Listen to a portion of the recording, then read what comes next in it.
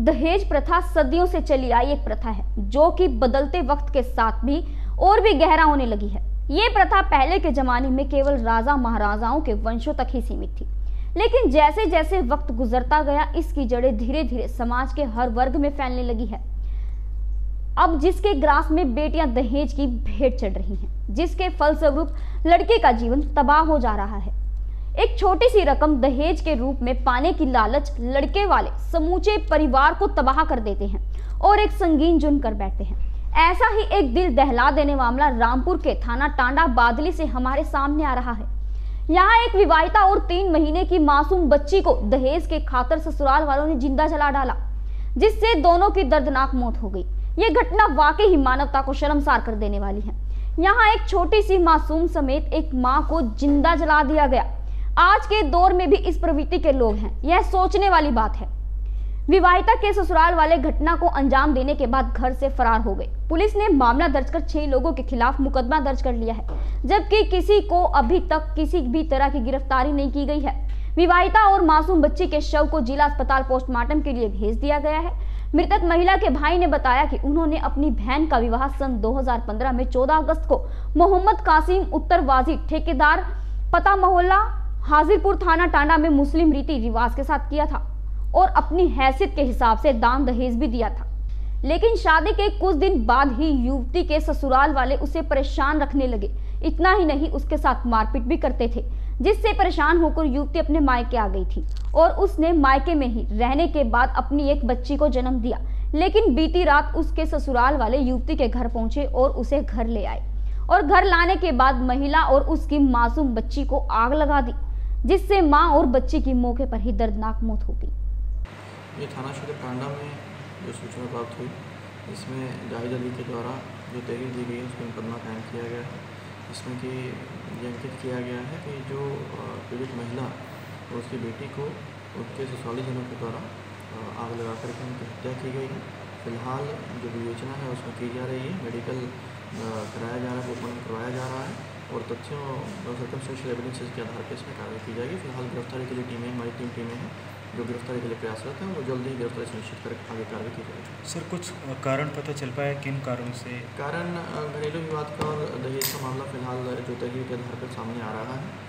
जैसे मैंने बताया कि अभी विवेचना इसकी प्रचलित है और गिरफ्तारी के लिए प्रयासरत माँ बेटी की दोनों की मौत हो गई या माँ? हाँ इसमें दोनों की इसमें मौत हुई है और फ़िलहाल उनका पोस्टमार्टम करवा कर आगे कार्रवाई की जा रही है।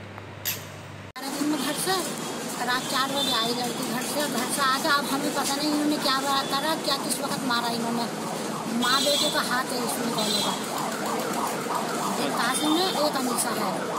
अच्छा तो कौन कौन खत्म हुए हैं इसमें? यहाँ पे एक लड़की खत्म हो गई इनकी और एक माँ खत्म हो गई। दो माँ बेटी खत्म हो गई तीन महीने की लड़की है गोद में। वो लड़की भी मेरे घर पैदा हुई थी वो मेरे घर से तीन महीने की होकर इनके घर आई थी। पिछले हफ़्ते में भी चार तीन उसमें आई थी सात महीने में मेरे घर से। और अब आई है ग्यारह दिन में। जावेद कहाँ रहते हैं? टांडा बादली जिला रामपुर। अच्छा क्या हुआ था? पूरी बात बताइए। ये इनकी शादी हुई थी 2015-14 अगस्त को। अच्छा। जी। एक आध साल लड़की सही रही उसके बाद में वही टॉर्चर करना चालू कर दिया वही। अच्छा। मार धाड़ दहेज कम बढ़ती। हमारे यहाँ जो चलता है गाड़ी वाड़ी सब हमने दे रखी थी। जो था। कि लोग फोनों पे धमकी देता था वो लौंडा भी। अच्छा। कि छोड़ दूँगा मार दूँगा। तो उनकी जो लड़की हुई है लास्ट में अभी तीन चार ही महीने हुए हैं जिसे भी ज़िंदा जलाया उसको भी। अच्छा। तो वो हमारे घर पे हुई है मतलब लड़के के घर उसके घर पे नहीं हुई है जो उनके हस्बैंड है। अच्छा। मैके में हुई है? नेके में हुई है हमारे यहाँ पे। देखने तक नहीं आया कोई। अच्छा। फिर अभी जो है ना वो ले गए थे मना के हाजी वाजी को आते हैं हमारे यहाँ पे। जी। फिर उसके बाद में ले गए फिर अभी ग्यारह बारह दिन से फिर हमारे घर पे रात में बुलाया। कुछ आके आए घर के आदमी। ऐसी लगभग पाँच साढ़े पाँच बजे। और हमें पता ही नहीं रात भर का है। हमें तो सुबह आठ साढ़े आठ बजे पता चला है। पड़ोसियों ने बताया। उन्होंने भी नहीं बताया बोला के तो पता चला कि जला दिया। दोनों को एक साथ में जला दिया। बच्ची को और माँ को? हाँ। अच्छा फिर उन लोगों के खिलाफ एफआईआर करा दी है? एफ़ आई आर करा दी है।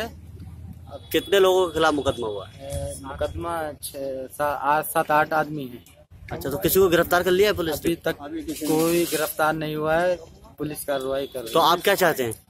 हम तो चाहते हैं कि उनको जो घिनौनी हरकत की है उसके लिए फांसी हो बस। यहाँ पोस्टमार्टम के लिए लाए? पोस्टमास्टर के लिए बच्ची भी आई है और लड़की की माँ भी है दोनों है। तो वो लोग घर से फरार हैं? वो लोग सब घर से फरार हैं पूरी फैमिली घर से फरार है। आप कौन है इनके? मैं भाई हूँ उनका लड़की की JBD Banquets lie हैं। incredible marriage palace Rajgharana and the finest banquet hall Jyoti Garden. World class catering, centrally air conditioned, lush green lawns, state of the art lighting. A perfect venue for wedding, launching and parties. Rajgharana and Jyoti Garden at JBD Banquets Enterprise.